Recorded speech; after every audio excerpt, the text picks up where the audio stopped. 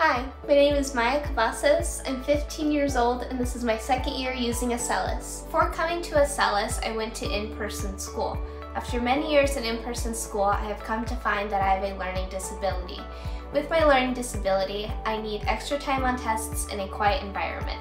After coming to Acellus, they have been able to give me all of my accommodation needs plus more. I am happy to say that I have a 4.0 GPA and couldn't be happier. Something that I enjoy to do on my free time is dance. I have been dancing for six years now. I do ballet, jazz, and hip hop.